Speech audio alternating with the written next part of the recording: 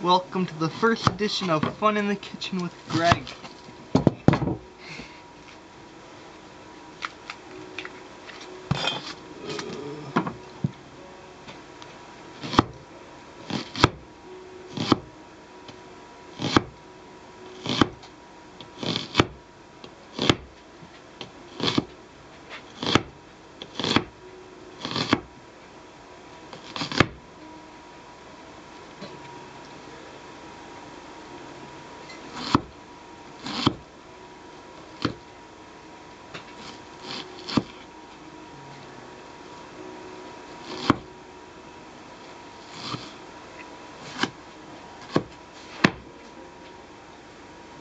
And that's how you dice onions in Northland.